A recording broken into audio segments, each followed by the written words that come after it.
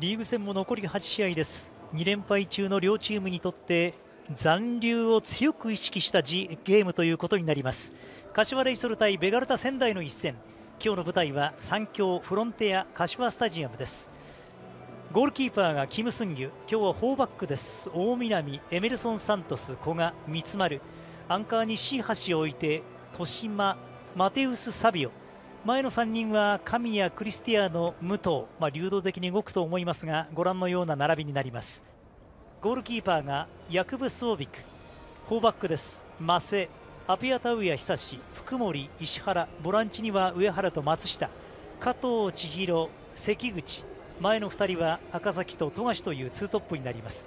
こちら指揮官は手倉森誠相手陣内に人数を置くことができました。浮かせたボール。おっと決めた見事に決まって富樫。先制ゴールは仙台0対111分の得点です。オフサイドはありません、まあ、おそらく仙台からすると松下がボールを持った瞬間が、まあ、ゴール方向にこう向かっていく一つタイミングになってくると思うんですけども、はい。まあ、モーションのちっちゃい縦パスが赤崎に。入りまして、はい、そこからまだツートップの連携でシュートまで持ってきましたから、はい。まあ、イメージ共有できてたんでしょうね。橋はかなりアンカーの位置で流動的ながら最終ラインをカバーしてそして前にも進んでいます。ああいいカットですね。いっぺんにチャンスを作ろうというその神谷の動き。入れた神谷からチャンス。これはクリスティアーノ。押されましたか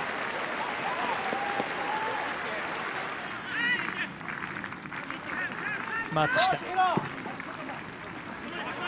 いい展開です。マセマセが入れる。うん。まあ、中には富樫が入ってましたからチャンスがありそうです。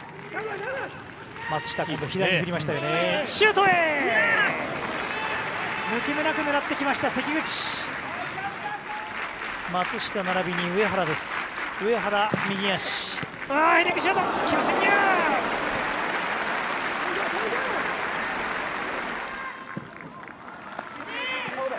相手に渡さずにマセマテウス・サビオを剥がしに行きました。あ豊島を剥がしに行きました。そして松下。いいですね。ワンタッチ。そしてフィニッシュは関口。かわした。右足。キーパーキム・センニュこれはキム・センニュ値千金のプレー。関口のフィニッシュ。キム・センこれを阻止。いいプレーでしたね。はい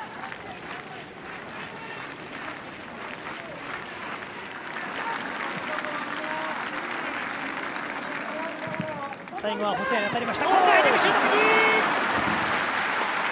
細谷の頭。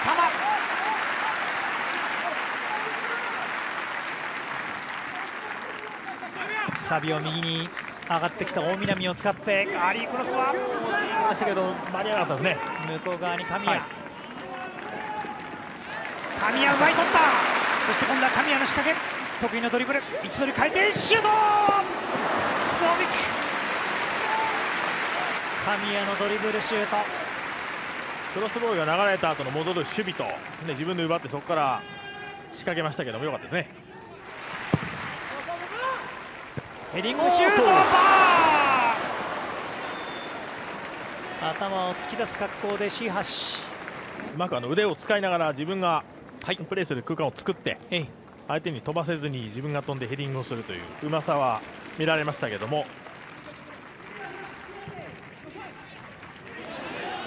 あそして攻めアドバンテージを見ています。カルドーゾ上がっていく。そのままカルドーゾ。カルドーゾ仕掛けて一度に変えた。左足。キムソンに抑えて今度はレイソル。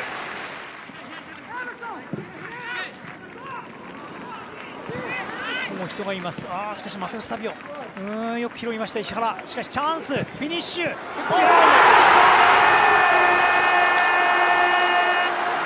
1対1同点神谷左足。インフロントにかけてカーブかかって左隅に決まりました。1対1同点弾。大仕事をしました神谷。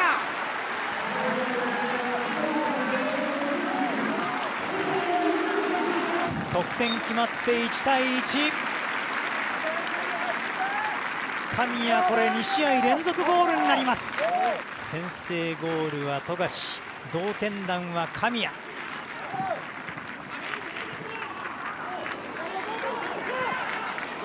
神谷だ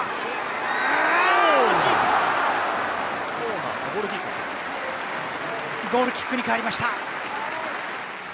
仙台大きなチャンスを迎えました。これを拾えばレイソル面白い。はい。さ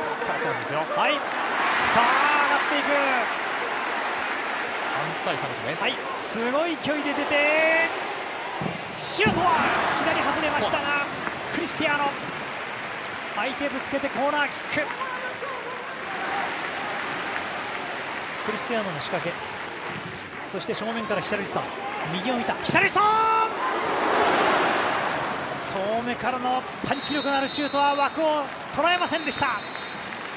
ここで試合終了。1対1両チーム連敗は2でストップ。